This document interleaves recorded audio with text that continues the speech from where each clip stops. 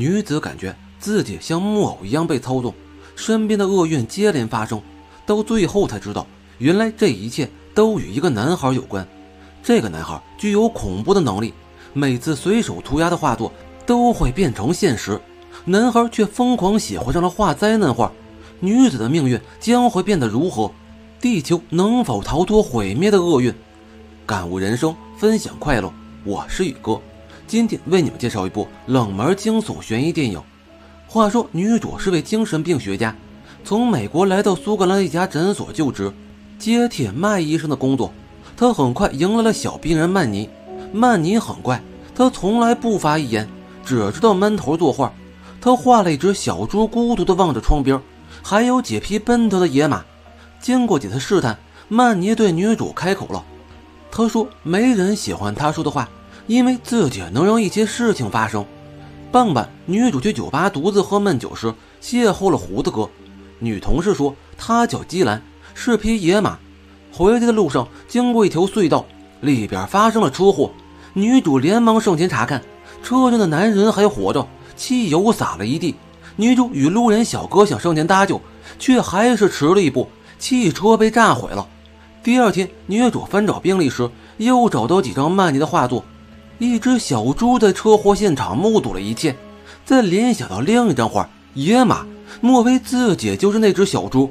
曼尼说这是起事故。一辆车飞过转角，撞上了另一辆，是自己让它发生的。但更诡异的话还在后头。曼尼居然说，女子的抽屉里有一把枪，不信的话可以打开查看。医生们讨论病情时，所长说，曼尼从来不与包括养母在内的任何人说话，女主是唯一一个能让他开口的。当女主提出想看一下麦医生之前几个月的笔记时，所长的表情很奇怪，很快转移了话题。夸女主接收老麦医生的工作后干得很不错。女主租住的公寓隔音效果很差，在房间内都能听到隔壁的吵闹声。女主只好将音乐声开大，用酒精来麻醉自己。半梦半醒间，回到了与丈夫出游的那天。前方出现了岔路，GPS 上的显示与路标的方向相反。两人通过掷硬币的方式选择了左边的道路。让我们再次回到现在，女主与基兰。经常会在哲学讨论小组见面，一来二去，两人渐渐熟悉了起来。但女主不想和他发展的太快，因为女主还放不下自己的丈夫。当时她与丈夫走过岔路没多久，汽车就开了锅，坏在了鸟不拉屎的荒郊野岭。时间又回到现在，女主终于还是没忍住好奇，打开了抽屉，里边居然真的放着一把手枪。女主怀疑是曼尼搞的恶作剧。趁自己不在时放进去的。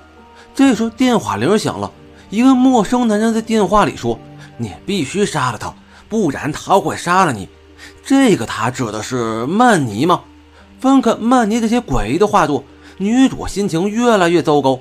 邻居还在絮絮叨叨说着什么，说着他听不懂的话。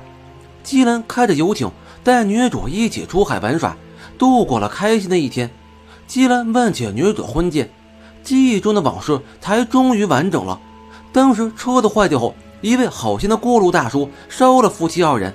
哪知路上大叔帮忙联系拖车时走了神，车子遭遇了车祸。女主丈夫在这起事故中意外丧生，所以女主才来苏格兰开启新的生活，想忘掉这些事儿。但自从女主乘上飞机的那一刻，她就觉得这里的一切都很不真实，仿佛来到了另一个宇宙。女主一直在想，如果当时自己做了不同的选择，或许丈夫就不会出事了。在基兰的安慰下，两人顺理成章地发生了一切。在女主的追问下，所长道出，之前打来电话的人应该是前任职员麦医生。如今他的精神出了问题，被送进了精神病院。而女主也终于查出，曼尼的父亲之前因交通事故身亡，六个月后母亲自杀，现在的母亲是养母。而曼尼的话中居然还描述了女主邻居家的噪音，这事儿越来越离奇了。此时女主已加班到很晚，基兰来办公室找她，约好明天一起乘船出海去淤泥岛玩。俩人还在办公室淘气了一把。再次见到曼尼时，曼尼问到了那把枪，女主故意气到，戏谑地说：“我找遍了抽屉，啥也没有。曼妮听后生气了，开始疯狂涂鸦，说自己希望这件事能发生。他竟画了一张基兰沉入海底溺水的画。诊所里的女同事说，女主的前任麦医生只看了曼妮一个病人就被调走了。之后，他竟然在精神病院楼顶放火自焚。女主开始在图书馆疯狂翻阅书籍，希望能从中找到答案。莫非曼尼是上帝？女主心中愈发不安。她找到曼尼家，看到曼尼正在拼命画着什么。她意识到女主接近，将画翻了过去，不让女主看。女主只得承认自己确实找到了那把枪。曼妮却说：“他在是因为你找到他了，你通过查看让他变成了现实。”这不是薛定谔的猫吗？女主仍坚信曼妮将枪放进抽屉的，大声质问曼妮是怎么知道基兰的。曼妮被女主凶跑了。女主翻过画作，上边画的竟然是一只自杀的猪。到了约定出海去晕晕岛的这天，却找不到基兰的影子，基兰的手机也始终打不通。女主一直等到晚上，都等不到基兰出现。桌上的手枪与吵闹的邻居令她心中愈发烦躁不安。女主索性将音量声开大。喝高的他用这种方式报复没有公德心的邻居，疏解心中的不安情绪，无视邻居的敲门声，反而将音量开到了最大。恍惚间，他又忆起了那次出游之前，丈夫选了好几处景点，她都不满意，最后为讨女主开心才选了那里。这一系列选择之中，哪怕有一次选择不一样，丈夫或许都不会死。他突然回忆起搭上好心大叔的车后，曼尼就站在路边。电视中播放着洪水灾难的新闻，超两千五百人丧命。曼尼的画作又应验了，这肯定不是巧合了。莫非曼尼真的是上帝？女主待不住了，反复往返于基兰家中、港口与哲学讨论小组，却始终寻不到基兰的踪影。莫非自己真的是上帝手中的牵线木偶吗？如此说来，这个上帝也太不厚道了。第二天一早，女主再也坐不住了，偷偷钻入所长办公室，拿了档案室的钥匙，并找到了麦医生所住精神病院的电话号码，却被所长抓了个现行。曼妮的养母投诉了女主，再加上女主身上重重的酒味以及现在的行为，所长给女主放了个假。也好，反正女主现在也无心工作。他来到精神病院，找到了自己的前任麦医生。他之前曾被曼尼逼得自焚，整个脸被烧成了这样。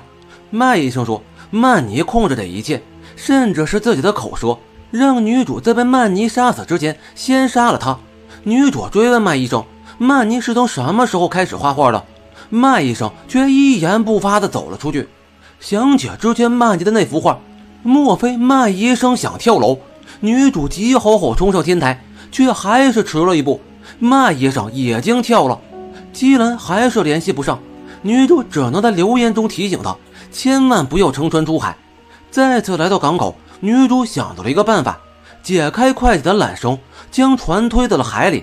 没船，基兰还怎么出海？如此一来，她也就安全了。女主再次偷了钥匙，来到诊所档案室，找到了曼妮曾经的画作，资料中显示。曼妮的父亲是位物理教授，死于一起车祸事故。连女主来资料室偷资料的这事儿都画在了画上。这时，果然保安来了，女主抱起资料便跑，逃离了这里。这些曼妮的旧画室的事情，居然全部一一应验了。看来这曼妮不是有预言能力，就是要控制这一切。但女主坚信自己并没有被曼妮控制，一切行为都是自己意识决定的。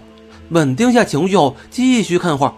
这张在游艇里睡着了的画令女主崩溃了。她连夜驱车冲向港口，基兰的游艇果然撞毁了。搜救队打捞出了基兰的尸体。之所以基兰联系不上，是因为她在游艇里睡着了。女主的善举反而害死了基兰。女主气疯了，她决定亲手终结掉这个操纵自己人生、毁掉一切的罪魁祸首。女主冲进曼妮家。